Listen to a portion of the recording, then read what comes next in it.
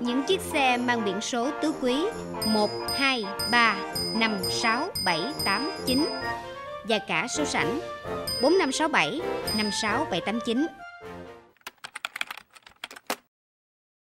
Thưa quý vị, đây là những chiếc xe nằm trong bộ sưu tập xe biển số đẹp của anh Nghĩ.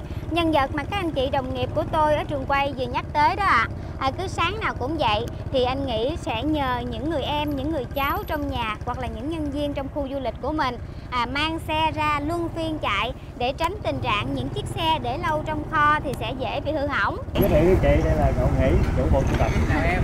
Yeah. À, anh có tổng số hơn 500 chiếc. Yeah. Biển số xe là 66 và 67 An Giang và Đồng Tháp em. Yeah. Gồm những loại xe nào hả anh? Tất cả các dòng xe giống như SH, Sport, Yeah. Đi Lăng, Suzuki, Yamaha, 67, rồi Cúp 50 với những cái xe mà nó qua thời giống như quay 100. Dạ. Ừ.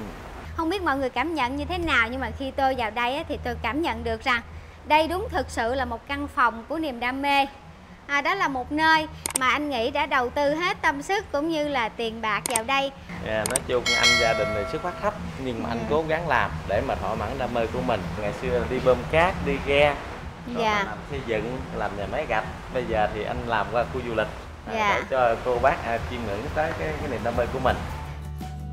Chủ nhân của bộ sưu tập này cho biết, sở dĩ anh sưu tầm xe máy của hai tỉnh An Giang và Đồng Tháp vì đó là quê ngoại và quê nội của anh. Anh muốn khi du khách hiếu kỳ tìm đến với bộ sưu tập, đó cũng là cách anh góp phần ghi tên quê mình vào bản đồ du lịch miền Tây.